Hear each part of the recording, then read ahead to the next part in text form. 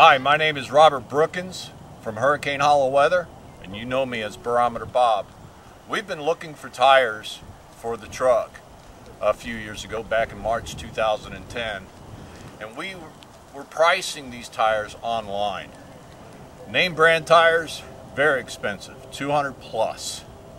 We came across a website called treadwright.com. Now, I'm going to tell you, we all know tires. We know the difference between the manufacturers and the retreads. But these tires we got 48,000 miles ago, three years. These are the 265 75 R16 Warden all-terrain Class E tires.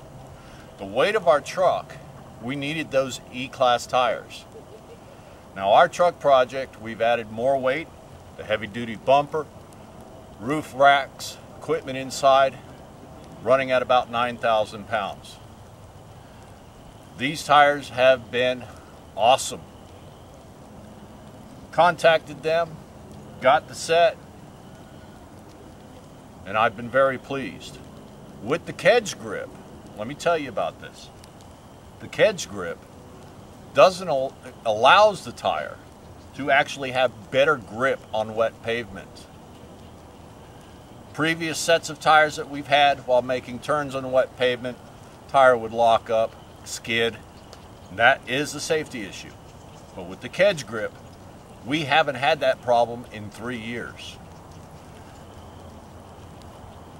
With this said, these tires, no problems.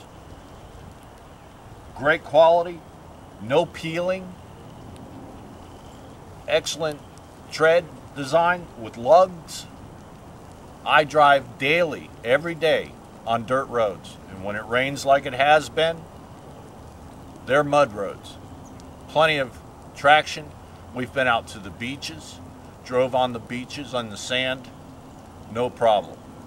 This truck has been everywhere from South Florida to New Jersey, all over the state of Florida.